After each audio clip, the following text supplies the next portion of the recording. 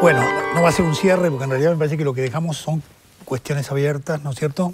Y justamente creo que el sentido fue ver si podíamos tomar algunos pocos textos de Borges para no abrumarnos, pero trabajar sobre los textos en lo posible, más que sobre la figura de Borges, ¿no verdad? Que está muy presente en la cultura contemporánea, no tanto como sus textos, me parece. Entonces quería sencillamente recordar unos, algunos textos tomando esas fechas, la, la fecha de 1951, donde están eh, el texto Nota sobre Asia Bernard Shaw, Kafka y sus precursores, El culto a los libros y El escritor argentino de la tradición, que es bueno leerlos juntos, esos cuatro textos.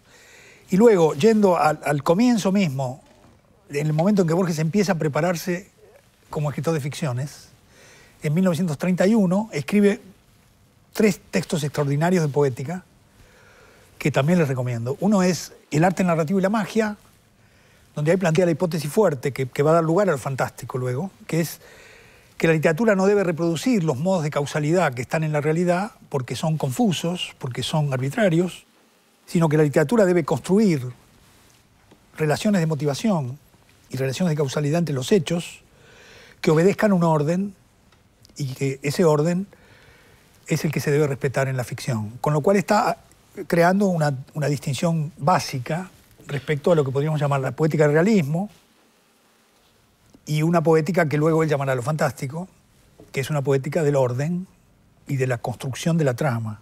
En eso se parece mucho a Hitchcock.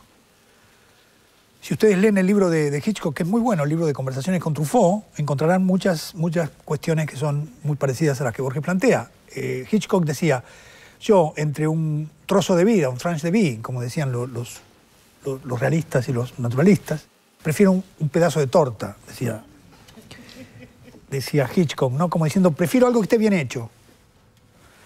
Prefiero algo que tenga su forma, ¿no? Y bueno, es un gran constructor de forma, Hitchcock, como Borges es un constructor de forma.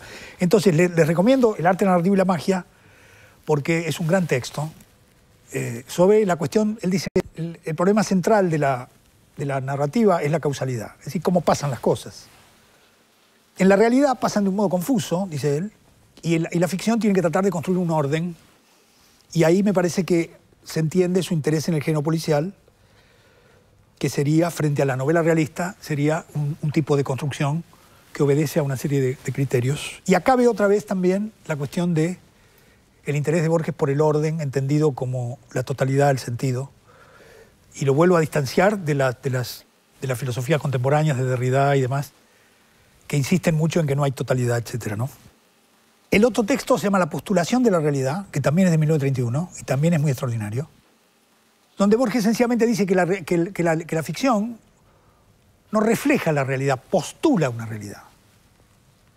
Eh, yo pongo siempre el ejemplo del tango, ¿no? Yo he dado algunos cursos sobre las letras de tango. Si uno lee todas las letras de tango, lo cual es un poco imposible, pero si uno piensa en, lo, en, los, en los, pequeños relatos que hay en, la, la, en los tangos y los, y los, constituye casi como si fueran un relato colectivo sobre la ciudad de Buenos Aires, eh, y toma esos relatos como si fueran reconstrucciones de la realidad, se encuentra con una realidad que está postulada, porque no es que todos los hombres iban todas las noches de farra y que todas las noches las chicas eran milongueras y que todos los hombres del tango este, no tienen un padre, todos tienen una madre, ninguno tiene hijos y la gente se va de farra.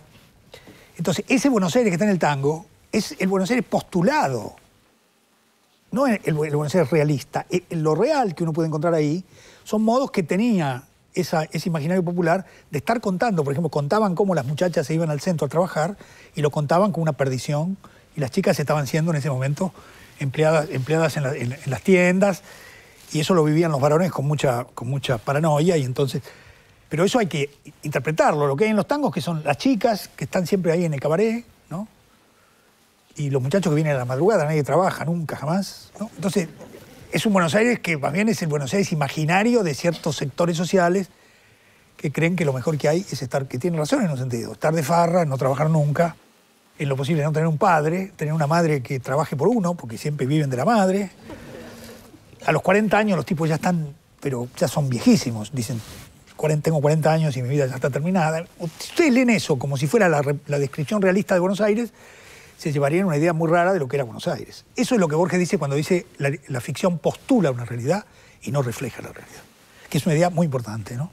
Y está muy bien, muy bien explicada en ese texto.